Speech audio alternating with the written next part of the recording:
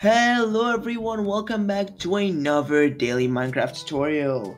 And today, we're going to be showing you how to get X-Ray for Minecraft version 1.21.4. Take it away! Yeah, so in this video, you're gonna learn not only how to get X-Ray, but also how to get Fullbright working for the Minecraft version 1.21.4. So, to begin, what you want to do is go to your web browser. Now there will be multiple links in the description to help you through this process, but here I have Google Chrome, you can use anything you want. What you want to do is download the classic X-Ray texture pack, which is the simply X-Ray Ultimate. Well, you've seen this many times if you looked at X-Ray videos, this was the classic. Just go in the link, which is, this will be in the description, you'll have this page.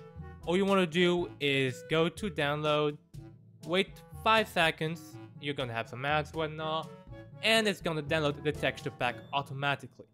And just wait a couple seconds, it should show up on the top right, it's just here, okay? This is a zip, this is a resource pack. Now, what we want to do is actually go on Iris Shaders, funnily enough. If you go on Iris Shaders, it can be Iris shaders, it can be other shaders, but like even Optifine, but Iris shaders will be the easiest way to do this. Just go on Iris shaders dev, and here you'll have this. This is Iris. What you want to do is download now and download Universal Jar. Here you're gonna have Iris installer 3.2.1.jar. This is just to get shaders working because we will be downloading a shader we will be downloading a Fullbright shader. It actually works with X-Ray pretty well. So what you want to do is go to the link in the description as well, or simply go and open up Blendy Cat Fullbright. So if I do Blendy Cat Fullbright, Fullbright, sorry, we're gonna have this, well, Blendy Cat Fullbright shaders. Now this is actually a GitHub project and to download this specifically, what you want to do is simply go to the code section, which is the green button. Once you click this, you're going to see download zip. Here it is. Now, if you're looking at this on mobile, you might not see download zip. Make sure you are in a computer interface like this, and you will be able to download the zip. This now gives us these files and folders. Now we are done with the web browser part of things so we can close Google Chrome or whatever browser and open up the File Explorer window.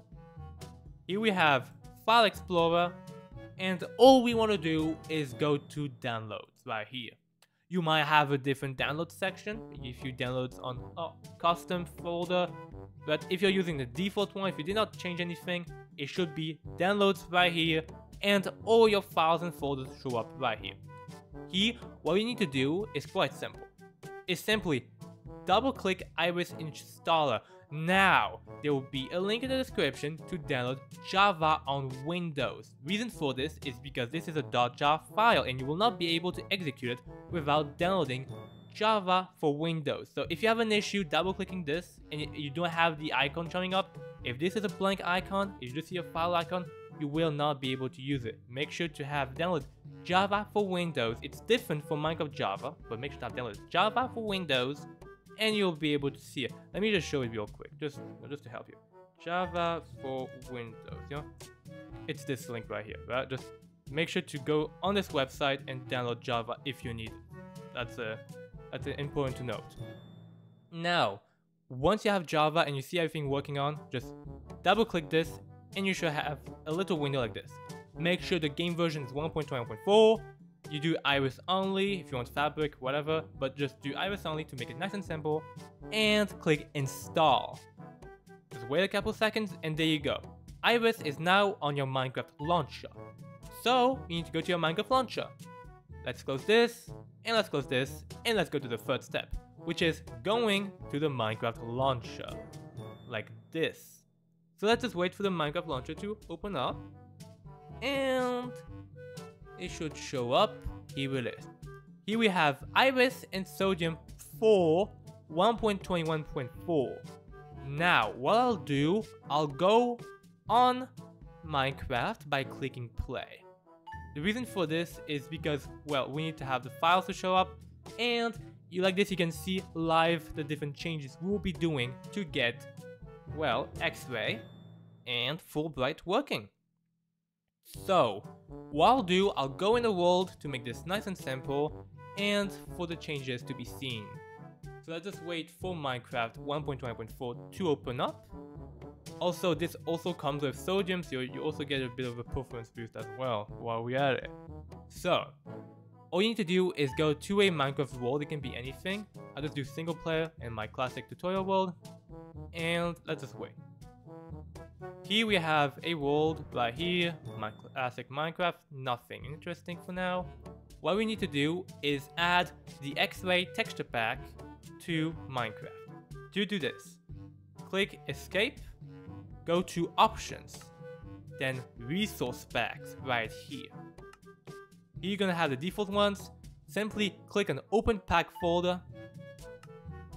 Now, go to your Windows installation area, for me it is the default one, and here we can see we have X-Ray Ultimate. All you want to do is copy. Go to the top left right here, you'll see back to resource packs and click paste. Now we have one folder, we do not need to unzip it as well in our resource pack folder. Now, if I go back to Minecraft, we will see this.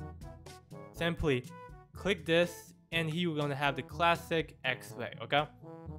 But if you notice something, well, we can't see the blocks. Now, we can use night vision, it is doable, but it's not easy to see. You can technically see that this is copper, I believe, but it's not easy, right? So what you want to do is now get Fullbright into Minecraft. Let me just close this real quick just to make the change apparent. And let's make it slash time set midnight. It's dark. Now, how will we see the blocks and anything outside as well, actually? Well, this is how we do it. First of all, you want to do escape, just like for the resource packs, and go to options. Now you want to go to video settings. Here you have the sodium settings, by the way. You want to don't touch anything except for shader packs. Here you'll see, well, no shader packs. Click open shader pack folder. Clicking this will open up the same thing as resource pack, but it's the shader packs. What you want to do is go to downloads, go to Fullbright shader, master, whatever, and copy. Well, once you have copied it, go to the top left, back to shader packs, click paste, and now you have one shader pack in your shader pack folder, which you also don't need to unzip. Now, close this, and you will see full Fullbright Shaders Master.zip. Select this, and just apply done. And you're gonna notice something quite quickly. Well, that is Fullbright alright. So, that's Fullbright. Also, it also it's also persistent, so if we leave and come back, it will stay like this. Okay. Now we have Fullbright. All we need to do is, well, activate our resource pack. So to activate it, click escape, options, resource pack, find X-Ray Ultimate, click this, done, and we should have this. Look at this beauty. Here we have, we can see like, you know, blocks through this. So here we have coal, and can, we can actually see it. And like, normally you need to use like night vision or like things like this but this is just an other way of doing this and it's actually amazing because you can see all the blocks using this well shader pack and you can have x-ray as well like this you can be like in a survival server and he's diamonds huh and yes it does work in game mode survival if you were questioning but duh but anyways going back to creative you can see everything using this resource and shader pack, which is honestly pretty good, you know? So that's kind of how we did it. Well, it's that's how we get Fullbright working and how we get X-ray working, it's really useful because we don't have a limit of how long our X-ray potion. We don't have to craft an X-ray potion. Or if you're like on a server which uses any shop plugins or anything, we don't need to buy one. It's right in Minecraft itself. So yeah, that's how we get Minecraft working with shaders. Yeah, nah. But anyways, if you liked today's video, just make sure to like and subscribe, and see you for the next one. Bye!